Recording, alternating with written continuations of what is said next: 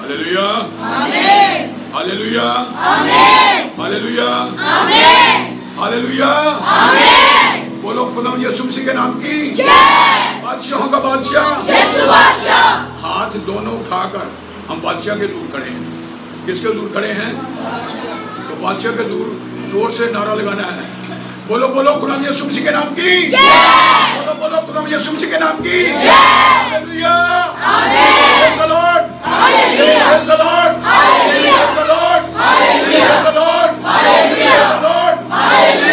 हाथ नहीं उठ रहे इधर से हाथ नहीं उठ रहे आगे हिस्से में हालेलुया खुदा यीशु मसीह के नाम की। खुदा यीशु मसीह के नाम की। खुदा उनके कलाम मुकद्दस में से। इब्रानियों का खत इब्रानियों का खत पहली आयत है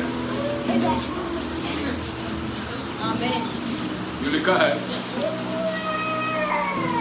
गौर से सुनिएगा बस आओ मसीह की तालीम की इब्तदाई बातें छोड़कर कमाल की तरफ़ कदम बढ़ाएँ और मुर्दा कामों से तोबा करने और खुदा पर ईमान लाने की, खुदा बाप खुदा बेटे और खुदा मसीह के हक नाम में इस कलाम के वसीला से खुदा हम सबको बरकत दे।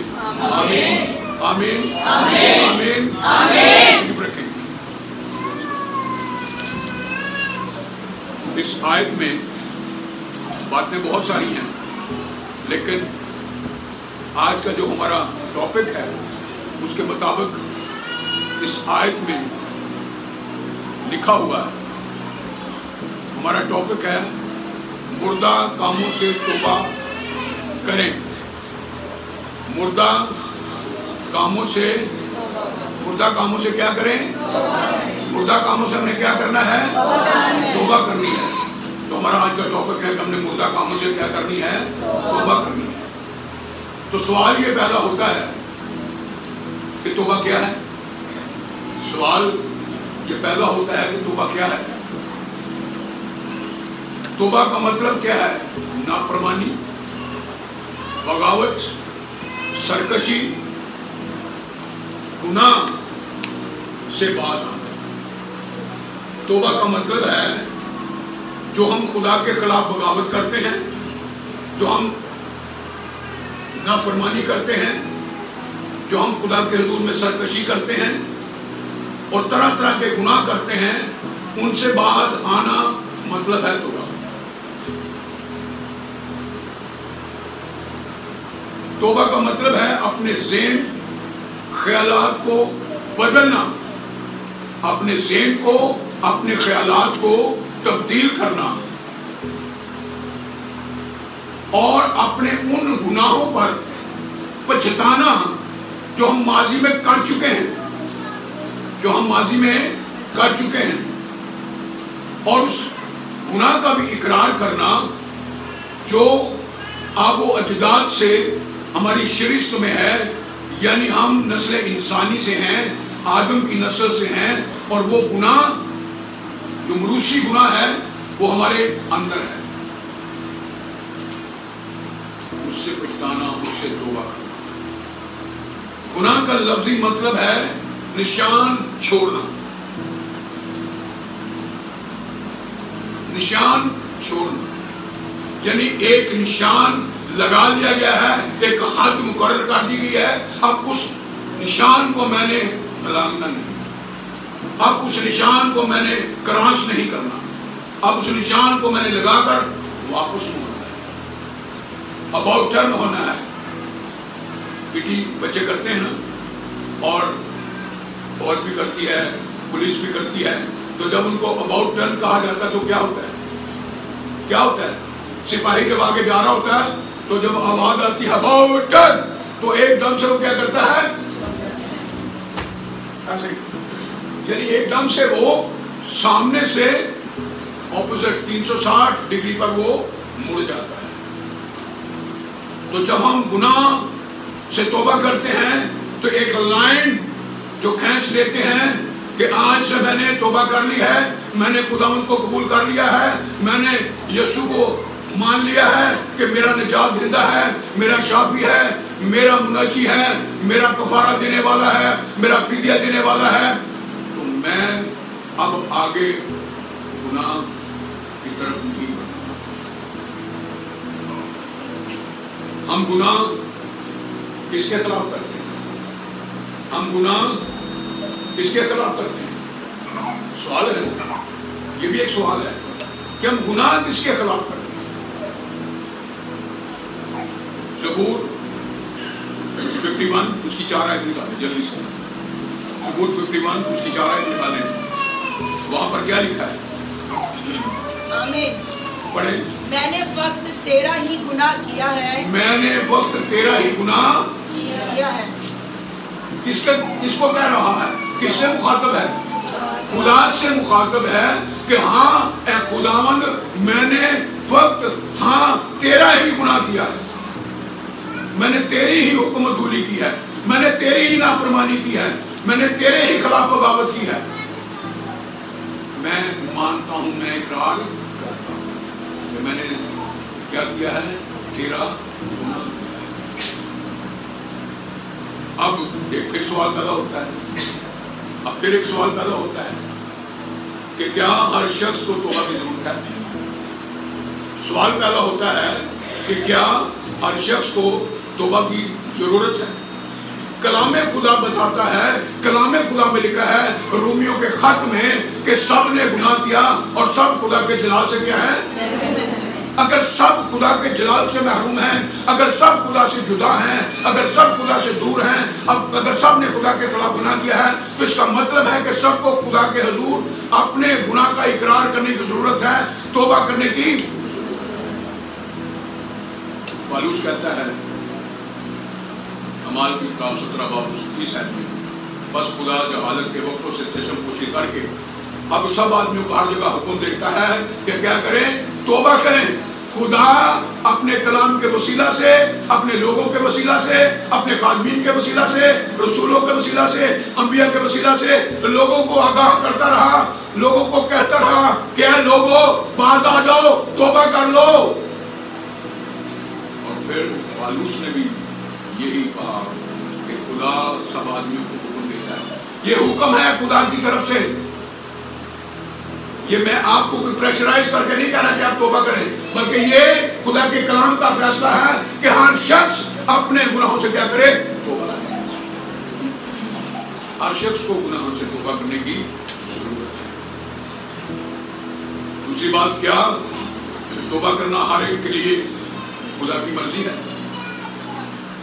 भी बात है ना। क्या? तोबा करना हर एक के लिए खुदा की मर्ज़ी है। क्या खुदा की ये मर्ज़ी है कि हर शख्स तोबा करे? ये खुदा की मर्ज़ी है। दूसरा पत्र तीन बार उसकी नौज में क्या लिखा है? हम जानते हैं कि खुदा की मर्ज़ी ये है कि सब आदमी क्या करें? तोबा करें और खुदा की तरफ़ रुजू तोबा करें और किसकी तरफ़ रुजू खुदा की हजूरी में तोबा करनी है और खुदा के हजूर हमने आना है। लिखा है खुदा अपने वादों में देर नहीं करता। जैसी देर बाद लोग समझते हैं बल्कि तुम्हारे बारे में तो हमल करता है।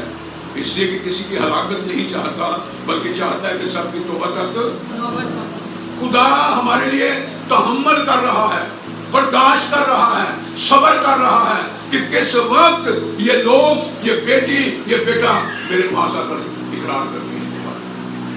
खुदा हमारे लिए तहम्मल करता है हमारी बर्दाश्त करता है। हमारे लिए सबर करता रहता है और हमें वक्त देता रहता है। अब हम अपने आप को देखें कि हम इस वक्त का फ़ायदा कैसे उठाते हैं।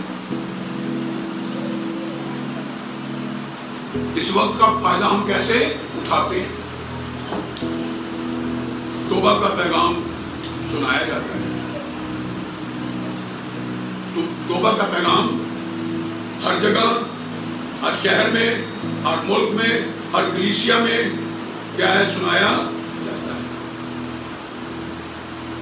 आज मैं भी आपको तोबा का पैगाम सुना रहा हूँ। शायद कुछ ऐसे हैं जिन्होंने अभी तक तोबा नहीं की। शायद कुछ ऐसे हैं जो तोबा करने के बाद फिर वहाँ के वहाँ ही हैं। उन्हें फिर से दोबारा इकरार करने की ज़रूरत है। फिर से खुदा की हजूरी में आने की ज़रूरत है, क्योंकि खुदा की ये मर्ज़ी है चाहता है कि हम तोबा करें इसीलिए तोबा का पैगाम हर दौर में सुनाया गया। अंबिया ने तोबा का पैगाम दिया। अंबिया अकबर ने, अंबिया असगर ने तोबा का पैगाम दिया। और रसूलों के ज़माना में, मसीह की आमद से पहले, योहन्ना बपतिस्मा देने वाले ने तोबा के बपतिस्मा की मुनादी की। और उसने कहा मती चार बाप सत्रह में, तोबा करो क्योंकि आसमान की बादशाही नज़दीक आ योहन्ना बपतिस्मा देने वाले ने जब मुनादी की, जब उसने तोबा का पैगाम दिया तो उसने कहा कि तोबा करो क्योंकि आसमान की बादशाही नज़दीक आ गई है। इसी तरह यीशु ने जब खिदमत का आगाज़ किया तो उसने भी तोबा का पैगाम दिया। गुलाम यीशु ने क्या कहा? तोबा करो क्योंकि आसमान की बादशाही नज़दीक आ गई खुदाम यीशु ने भी मुझे और आपको हुक्म दिया है, मुझे और आपको फरमाया है, मुझे और आपको कहा है, हमें बताया है कि तोबा कर लो। आसमान की बादशाही नज़दीक आ गई है। यीशु के शागिर्द भी तोबा की मनादी के लिए रवाना जब उन्हें हुक्म दिया गया मसीह ने जब उनको इरशाद याद दिया तो निकले उन्होंने रवाना होकर मनादी की तोबा रसूलों ने भी हर जगह जाकर यही मनादी की कि तोबा कर लो। यीशु आपके लिए कुर्बान हो चुका है। यीशु ने आपके कफारा दे दिया है। यीशु ने आपके लिए लहू बहा दिया है। यीशु ने आपका फिजिया दे दिया है। तोबा कर लो, निजात पालो, गुनाहों से मखरसी पालो, रहाई पालो, गुलामी से आज़ाद हो जाओ। हम किसके गुलाम थे? गुनाह के थे अबलीस ने हमें जिक्रा हुआ था। हम खुदा का शुक्र करते हैं कि हम यीशु मसीह में आज़ाद हो गए हैं, हम बचाए गए हैं। यीशु ने हमें अपने लहू से खरीद लिया है और हमें आज़ाद कर दिया है। यीशु ने अपने शागिर्दों को हुक्म दिया था कि वो कौमों में जाकर तोबा का पैगाम दें, तोबा की मनाती करें। लुका चौबीस बार उसकी छियालीस और सैंतालीस आयत में लिखा है क्यों लिखा है क्योंकि मुसीबत को उठा, उठाएगा और तीसरे दिन मुर्दों में से जी उठेगा। और सब कौमों में तोबा और गुनाह की माफ़ी की। मुनादी उसके नाम से की जाएगी। आज पूरी दुनिया के अंदर, आज पूरी दुनिया के अंदर यीशु मसीह के नाम से मुनादी की जाती है कि लोग तोबा लोग रहाई पालें। लोग निजात पालें। पैंतीस कोस के दिन जब पत्रस 120 की जमात में था तो रूल कुदस नाजिल हुआ। रूल कुदस क्या हुआ? नाजिल। वो सब के सब लिखा है कि गैर जमाने बोल और जब वो रूस से मामूर हो गए, जब वो रूस से फर गए तो क्या वो अंदर बैठे रहे?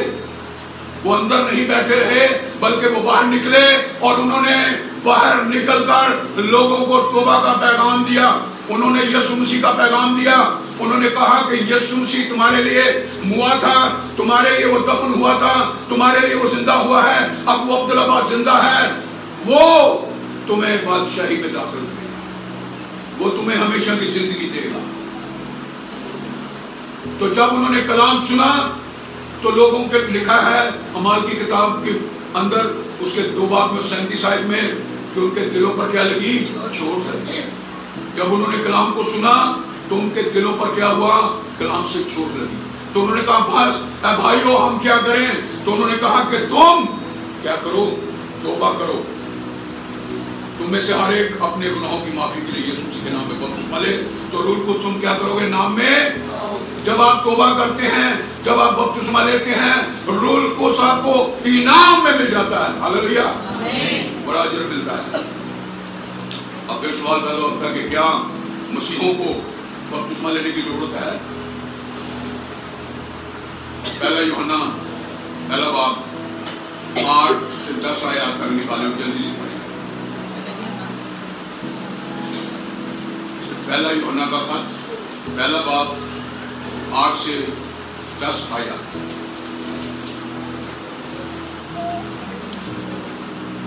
आमीन अगर हम कहें कि हम बेगुनाह हैं तो अपने आप को फरेब देते हैं। अगर हम ये कहें कि हम बेगुनाह हैं और हम यहाँ जितने बैठे हैं, बच्चे हो जो समझदार हैं, जो बच्चे समझदार हैं, जो ये बात समझते हैं कि चीज़ उठाना गलत है, गलत काम जो दूसरों को अच्छा ना लगे, गलत है, जो खुदा को अच्छा ना लगे, ये बच्चे समझते हैं। और जो बालिग बच्चे हैं, वो गुनाह को समझते हैं।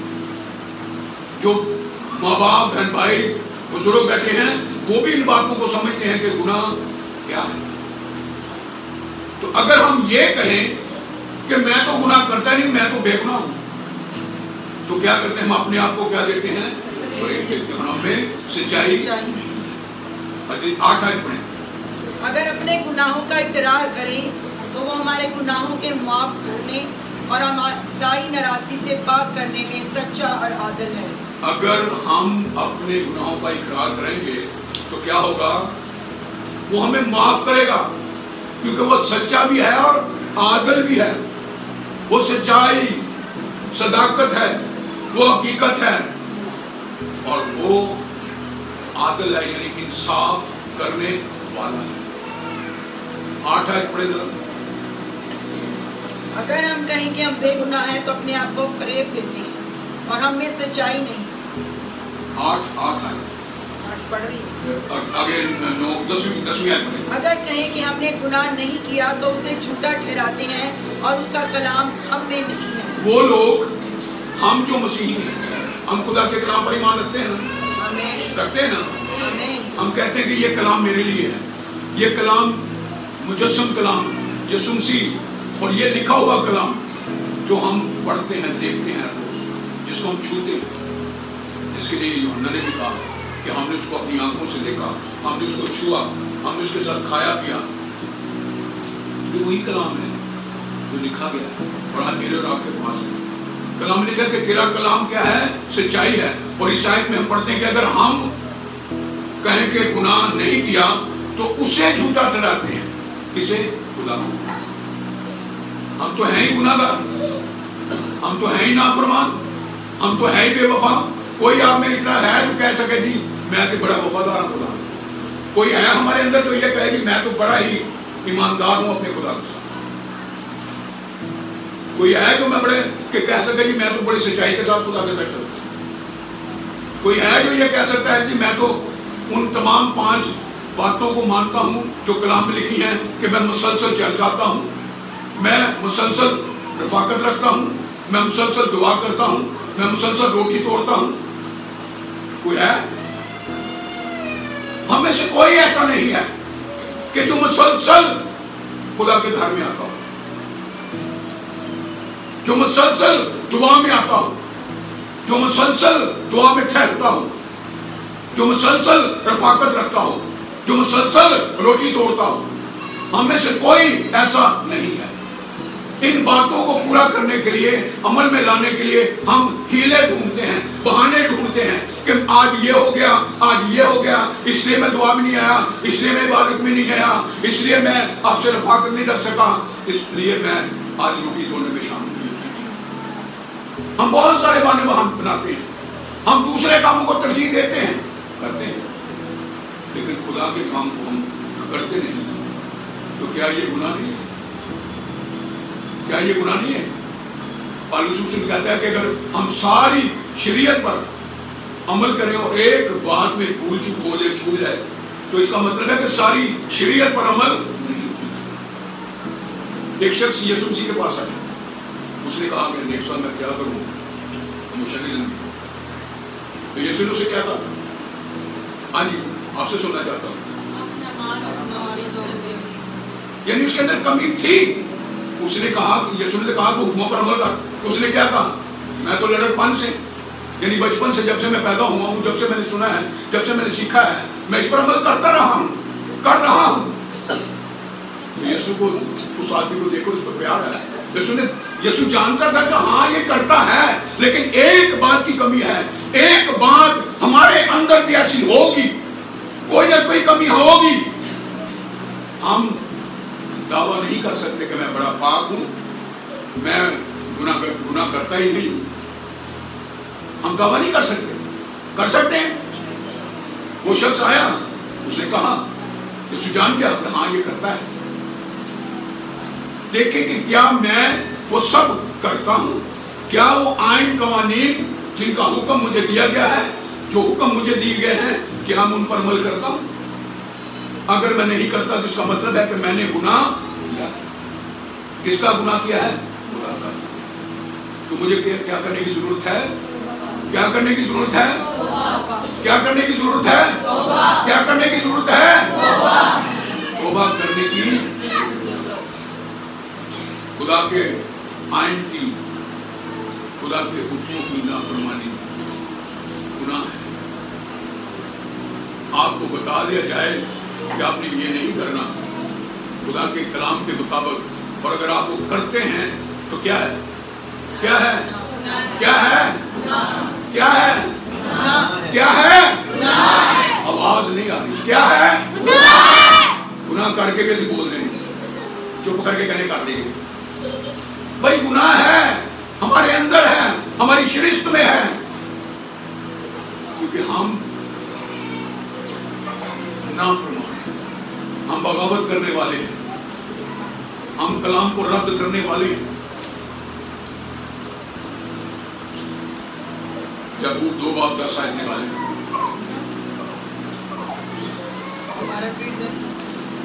यकूब दो बाप दस आयत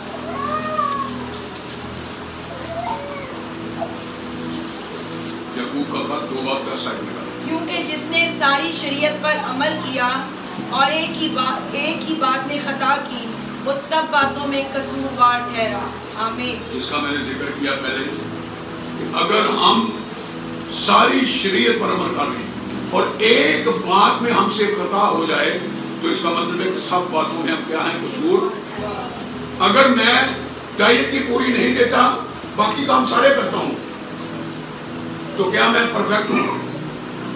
क्या मैं परफेक्ट हूँ? या अगर मैं डाइट की देता हूँ और बाकी सारे गुनाह करता हूँ तो क्या मैं परफेक्ट हूँ? हम सबका यही हाल है। हम सबका यही हाल है। किसी न किसी कमज़ोरी में, किसी न किसी खता में, किसी न किसी गुनाह में हम मुबतला हैं। लेकिन हम इकरार करके उनको छोड़ते नहीं। जबकि हमें ये भी पता है कि ये गुनाह, ये नाफरमानी, ये बगावत हमें खुदा से जुदा कर देती है। पता है आपको? पता है आपको? गुनाह क्या करता है? इंसान को नंगा कर देता है। गुनाह क्या करता है? इंसान को खुदा से जुदा दूर कर देता है। तो आप किसी के तरह खुदा से जुदा रहना चाहते हैं? क्या आप खुदा से दूर रहना चाहते हैं? तो गुनाह के साथ तो खुदा आपके साथ कभी मेल मिलाप नहीं करेगा नापाकी में खुदा कभी हमारे साथ नहीं होगा।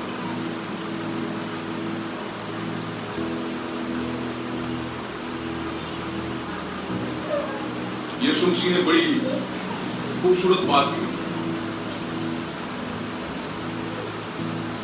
सारी बुरी बातें जो गुनाह की तरफ़ से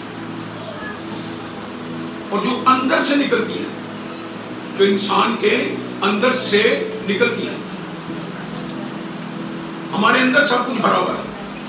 हमारे अंदर क्या है? सब कुछ भरा पड़ा है। और इसलिए यीशु मसीह ने कहा मरकज के जील सात बार बारह से बत्तीस साल बहुत लंबी तफसील है। लेकिन मैं आपके पास सामने चंद बातें रखता हूँ कि आदमी को जो नापाक करती है, वो क्या चीज़ें हैं? वो जो उसकी आखिरी आयत है बत्तीस आयत, उसमें लिखी हुई सारा हरामकारियाँ, चोरियाँ खूनरेजियाँ जनाकारियाँ, लालच बदियाँ मकर, शहवत परस्ती बद नजरी बदखोई शेखी बेवकूफ़ी, गालियाँ देना, नशा करना अयाशी करनी, गुनाह, गुस्सा बदखोई झगड़े नादानी की हुजतें खुद गर्जी नाफरमानी बेवफाई दगाबाजी घुमान इनमें से ऐसी कौन सी बात है जो हमारे अंदर नहीं है बताएँ मुझे ऐसी कौन सी बात है जो हमारे अंदर नहीं हमारे अंदर इनमें से बहुत सारी बातें अंदर हैं और वही हमारे अंदर से निकलती हैं और हमें क्या करती हैं नापाक और जब हम इन बातों से नापाक होते हैं तो क्या हम खुदा की हजूरी में जा सकते हैं? जब हमारे अंदर ये बातें होगी तो क्या हम खुदा के साथ हैं? खुदा तो हमसे दूर हो। खुदा की आँखें इतनी पाक है कि वो बदी को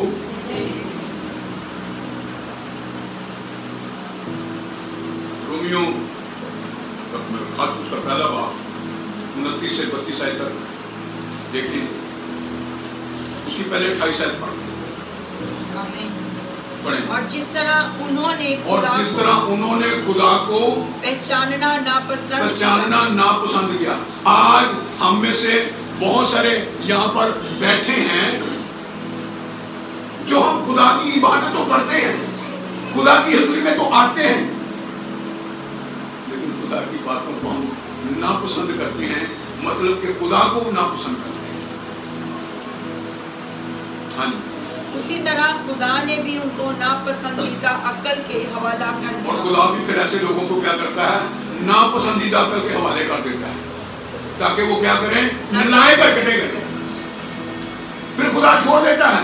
ऐसे लोगों को खुदा छोड़ देता है कि लै भी तुम ही मौज कर अगर तू नहीं बात अंदर तोबा नहीं करता तो लै फिर उन लगा रहे तो फिर आखिर में क्या होगा? हलाकत हलाकत और कुछ नहीं सिर्फ़ और सिर्फ़ क्या होगा?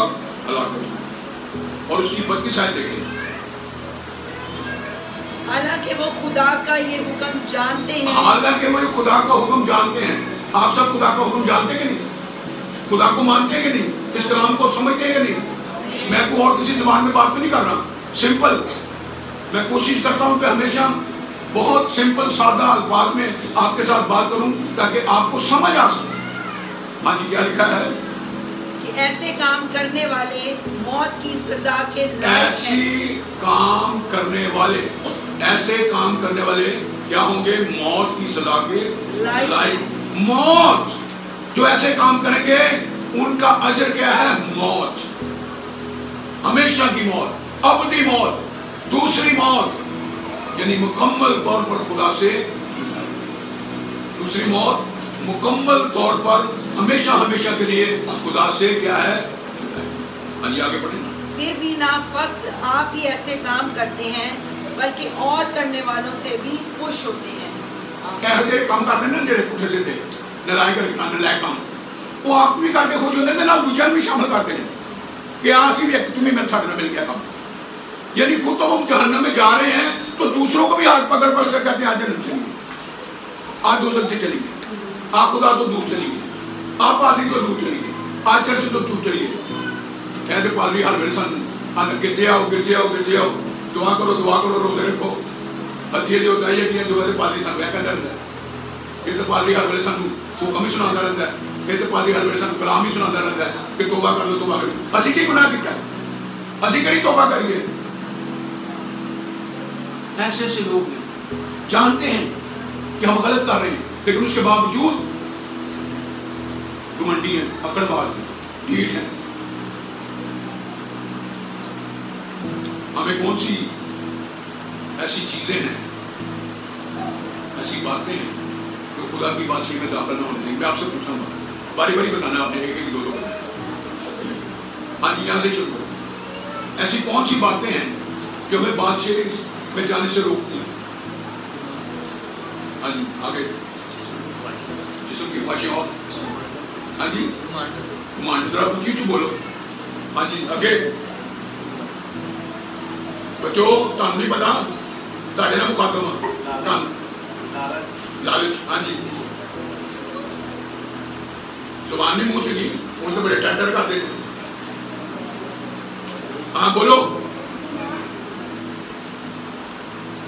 बोलो बोलो। गुरूर दुआ ना करना हाँ जी आगे। झूठ बोलना जी पीछे। पीछे बहने बताओ बताओ बताओ। शाबाश। हाँ जी और कोई और कोई। ऐप जोई और कोई। हाँ जी। जर दोस्ती। चार दोस्ती और? लड़ाई झगड़े प्रसाद चोरी। गालियाँ बकना चोरी करना, ये सब हमें खुदा की बादशाही में दाखिल होने देगी नहीं हो सकते। ये सब बातें हमें मुतासर करेंगी। यानी गुनाह हमें मुतासर करेगा। क्या करेगा? गुनाह हमें हलाकत में ले जाएगा। खुदा से हमें दूर कर देगा। खुदा से हमें जुदा कर देगा। खुदा की हजूरी में जाने का दरवाज़ा गुनाह बंद कर देता है। इस फानी बदन में गुनाह बादशाही करता है और हमें गुलामी में ले जाता है। ये बदन हमारा फानी है। तो जब हम इस हालत में गुनाह में रहेंगे तो ये बदन फना हो जाएगा। किसकी वजह से? गुनाह की वजह से। किसकी वजह से ये फना हो जाएगा? गुनाह की वजह आए, अहद करें आज कि हमने मुर्दा कामों से क्या करना है तो ये सारे मुर्दा काम हैं। जिनका मैं ज़िक्र कर रहा हूँ, ये सारे मुर्दा काम हैं। जो हम करते हैं और मौत की तरफ़ बढ़ रहे हैं। पहला का खत पहला बाप उसकी नमाज़ में हमने भी पढ़ा कि अगर हम अपनी खताओं, गलतियों, गुनाहों का इकरार करेंगे तो वो माफ़ करेगा।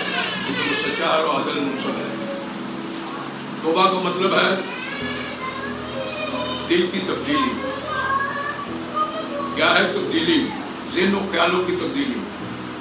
अपनी ज़िंदगी से हार उस बात को कट कट करना जो हमें खुदा से उन तमाम मनफी बातों को, उन तमाम हुक्मों को जिनको हम तोड़ते हैं और खुदा के खिलाफ जाते हैं, उनको अपनी ज़िंदगी से कट कट करना, अपनी ज़िंदगी से रिमूव करना। और ये ऐसे होगा जब आप उसकी कुदरत को मांगेंगे।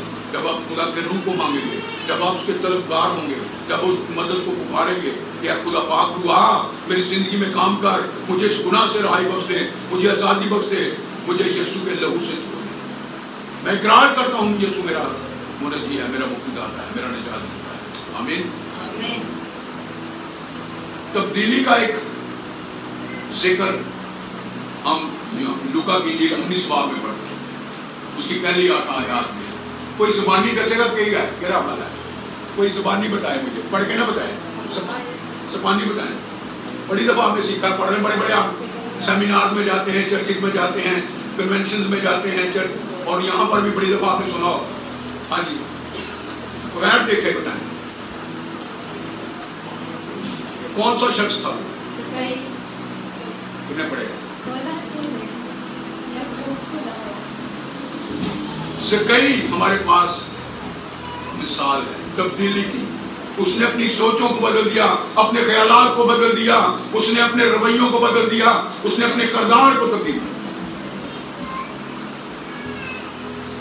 जिस जगह यीशु आ जाता है, जिस बदन में यीशु आ जाता है, जिस रूह में यीशु समा जाता है, जिसको दीदार हो जाता है यीशु का तो फिर वो कहता है कि अगर मैंने किसी का नाहक लिया है तो क्या करूँगा? मैं चार गुना मैं गरीबों का माल वापस लौटाऊँगा यानी अपने गुना का इकरार करता है, मान लेता है कि मैं चोर हूँ, मैं ठग हूँ, मैं लुटेरा हूँ। असं इकरार नहीं करते। हम इकरार नहीं करते। कि असं चोर अं ठग हाँ असं ठीक हाँ ਅਸੀਂ ਨਾਫਰਮਾਨ ਹਾਂ ਅਸੀਂ ਮਾਪੇ ਦੇ ਹੁਕਮ ਨੂੰ ਨਹੀਂ ਮੰਨਦੇ ਅਸੀਂ ਤੇਰੇ ਹੁਕਮ ਨੂੰ ਕਿਉਂ ਮੰਨੀਏ ਜਿਹੜੇ ਮਾਪੇ ਦੇ ਹੁਕਮ ਨਹੀਂ ਮੰਨਦੇ ਖੁਦਾ ਦੇ ਹੁਕਮ ਨੂੰ ਮੰਨਣਗੇ जो आसमानी बाप है जमीनी बाप की हम बात नहीं मानते तो जिसको हमने देखा नहीं तो हम उसका हुक्म कैसे माने लेकिन जो नहीं मानेंगे वो नुकसान में रहेंगे तो अपने माँ बाप की इज्जत कर इसके साथ क्या है वादा है तो मैं तेरी उम्र को जमीन पर क्या करूंगा दराज करूंगा तू खुदा मतलब अपने खुदा की इबादत करना, मैं तेरे रोटी पानी पर बरकत बख्शूँगा और तेरे घराने में से बीमारी को कितना अजीम खुदा है। वो बरकत देना चाहता है आपको। वो आपको ज़िंदगी देना चाहता है। वो आपको बहाली देना चाहता है। वो सरफराजी देना चाहता है। वो शादमानी आपको देना चाहता है। लेकिन हम कबूल नहीं करना चाहते। हम क्या कबूल करना नहीं चाहते? जकई ने जब अपने आप को पेश किया। जकई ने जब इकरार किया तो यीशु ने क्या कहा? आज इस घर में तोबा के बाद आप निजात में पड़ती है। निजात आपके अंदर आ जाती है, आपके घर में आ जाती है, क्योंकि आप यीशु का घर हैं, आप यीशु की खेती हैं, आप यीशु की इमारत हैं। तो निजात आप में आ जाती है। हमें फिर एक और कहानी है, वो मुझे ना आपने वैसे ही बताना एक और कहानी है। एक और कहानी है। हाँ जी। हाँ जी। इकरार के हवाले से। अच्छे फैसला करने के हवाले से। उस शख्स ने अच्छा फैसला भी किया, उस शख्स ने इकरार भी किया वो शख्स पछताया भी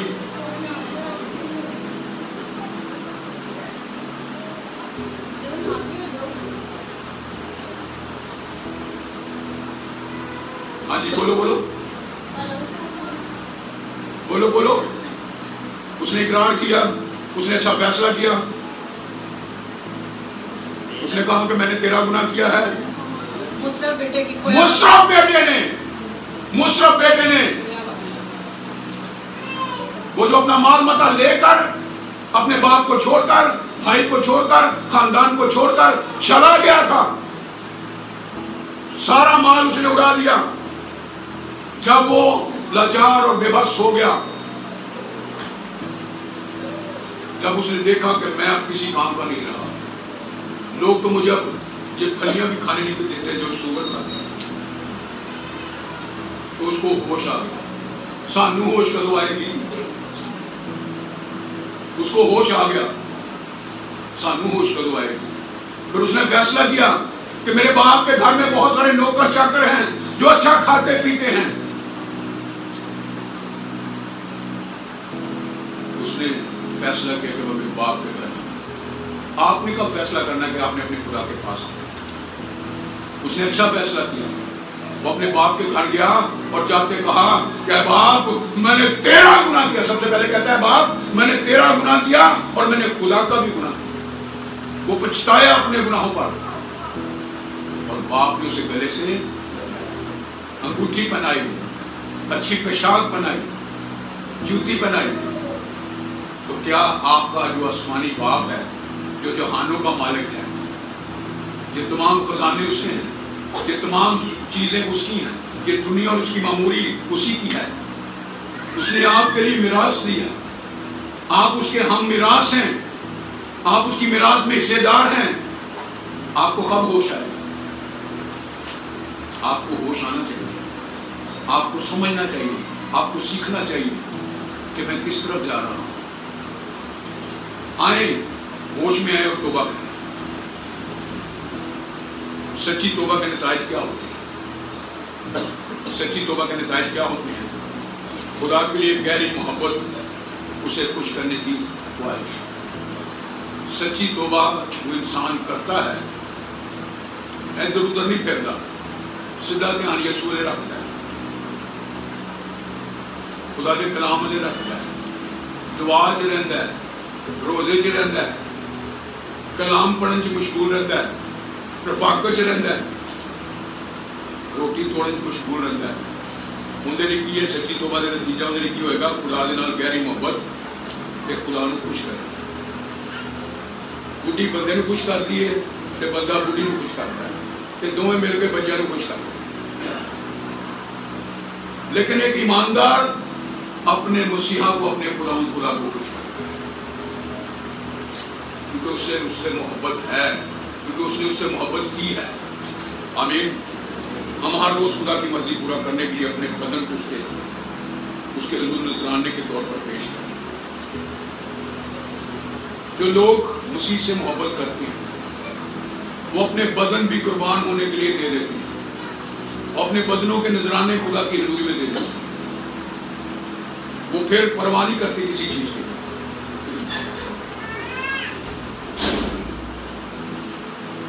सच्ची तोबा का नतीजा ज़बरदस्त अच्छा अजर है। अच्छा अजर है। फिर हम गुनाह नहीं करते और ना ही गुनाह हम करने की कोशिश करते हैं। अगर हम ईमानदार हैं, समझदार हैं, हम फिर गुनाह से आज़ादी हासिल करते हैं। रोमियो के खात में लिखा है कि पास जो मुझसे उन पर सजा का हुक्म, फिर हम सजा से बच जाते हैं। गुनाह नहीं करेंगे तो सजा से बचे रहेंगे। गुनाह करेंगे तो सजा ज़रूर पाएँगे। हम गीत भी गाते हैं। ना फैसला कर लो जब हम गाते हैं। उसमें गाते हैं ना, जैसे अगर गुनाह नहीं करांगे ना तो बचे रहोगे। तो जो गुनाह करेंगे तो सजा तो मिलेगी। आमीन। तोबा हमें बपतिस्मा की तरफ़ लेकर जाती है। तोबा हमें कहाँ लेकर जाती है? बपतिस्मा की तरफ़। यीशु मसीह ने मरकज की अंजील पहला बाप पंद्रह में कहा, तोबा करो अंजील की कुछ तकरीब बड़ी मांग और पत्रस ने भी कहा कि तुम अपने गुनाहों का इकरार करो, तोबा करो, खुदा की तरफ़ रुजू लाओ और यीशु मसीह के नाम में बपतिस्मा लो, तुम खुद नाम में आओ। और फिर इसी तरह और बहुत सारे हवाले हैं जो तोबा के तलब से हैं। रूमियो दो बाप छः में लिखा है। और से सुनने वाली बात है। रोमियो दो बात छः है वो हर एक, वो हर एक को उसके, और से सुनिएगा वो हर एक को उसके कामों के मुआफिक बदला जो जो हम कर रहे हैं, इस बदन में इस दुनिया में उन कामों का बदला हमें ज़रूर मिलेगा। अगर हम अच्छे काम करते हैं तो हमें अच्छा अजर अच्छा बदला मिलेगा और अगर हम इन गुनाहों में ज़िंदगी बसर कर रहे हैं तो फिर क्या है? हमेशा की मौत। दूसरी मौत। खुदा से मुकम्मल जुदाई। आखिरी आयत मैं आपके सामने बयान करूँगा। दूसरा कमोतियस चार बाप और तीन ये सब लोगों पर बड़ी फिट आती है। ये सब लोगों पर बड़ी फिट आती तो है। दूसरा तुमोतियस चार बाप उसकी तीन आती क्योंकि ऐसा वक्त आएगा। ऐसा वक्त आएगा सुन लो वक्त क्या हुई? तेरा चल रहे हैं। हाँ जी। लोग सही तालीम की बर्दाश्त लोग सही तालीम की बर्दाश्त ना करेंगे। उन पादरी सही तालीम देवे ना तो कहने नहीं आनी चाहिए गया भैन है ਇਹ ਕੰਮ ਗਲਤ ਦੱਸ ਰਿਹਾ ਫਲਾਣੀ ਜਗ੍ਹਾ ਤੇ ਚੱਲਦੇ ਆ ਬੜੀ ਤੇ ਮਜਮਾ ਹੁੰਦਾ ਹੈ ਬੜਾ ਮਜ਼ਾ ਆਉਂਦਾ ਉੱਥੇ ਉੱਥੇ ਜਾਣਾ ਹੈ ਅਸੀਂ ਸਹੀ ਤਾਲੀਮ ਨਹੀਂ ਲੈਣੀ ਕਿਉਂਕਿ ਸਹੀ ਤਾਲੀਮ ਸਾਨੂੰ ਸਹੀ ਕਰਦੀ ਨਾ ਕਿ ਅਸੀਂ ਸਹੀ ਹੋਣਾ ਨਹੀਂ ਚਾਹੁੰਦੇ ਸਹੀ ਤਾਲੀਮ ਕੀ ਕਰਦੀ ਸਾਨੂੰ ਸਹੀ ਕਰ ਦਿੰਦੀ ਹਾਂਜੀ ਅੱਗੇ क्यों बल्कि कानों की खुजली के बायस ਜਿਸ ਤਰ੍ਹਾਂ ਕੰਨ ਦੇ ਖੁਜਲੀ ਹੁੰਦੀ ਨਾ ਖੁਜਲੀ ਕਰ ਲੈਂਦੀ ਹੈ ਹਾਂਜੀ अपनी अपनी ख्वाहिशों के मुआफिक। अपनी अपनी ख्वाहिशों के मुताबिक बहुत से उस्ताद बना लिए। बड़े उस्ताद बना लिए। हम बड़े उस्ताद बनाते हैं शागिर्दा ने कितने उस्ताद बनाए सर? हाँ जी। शागिर्दों ने कितने उस्ताद बनाए थे? कलाम में लिखा है कि एक ही खुदामद है एक ही बपतिस्मा है एक ही ईमान है और एक ही हमारा उस्ताद है। आपका उस्ताद मसीह है। आपका उस्ताद रुल कुद्स है। आपका उस्ताद खुदा पाक है। उसके हजूर आए, वो आपको सब कुछ सिखाएगा। सही तालीम पर अमल करें। सही तालीम को हासिल करें। और सही तालीम पाकर सही फैसला करें। फैसला आज आपने करना है कि आपको तोबा की ज़रूरत है कि नहीं? कि आपको नए सिरे से पैदा होने की ज़रूरत है कि नहीं? कि आपको नया मखलूक बनने की ज़रूरत है कि नहीं? क्या आपको बादशाही में शामिल होना है कि नहीं? फैसला आपने करना है। और ये फैसला आपकी तोबा से शुरू होगा। आपके इकरार से शुरू होगा। अगर आप बरकत पाना चाहते हैं, अपनी ज़िंदगी पाना चाहते हैं, हमेशा की ज़िंदगी पाना चाहते हैं तो कलाम लिखा है कि, "ऐ लोगो ऐ लोगो बाज आ जाओ। ऐ लोगो बाज आ जाओ। बगावत करना छोड़ दो। नहीं तो बहुत सजा मिलेगी। खुदा सबको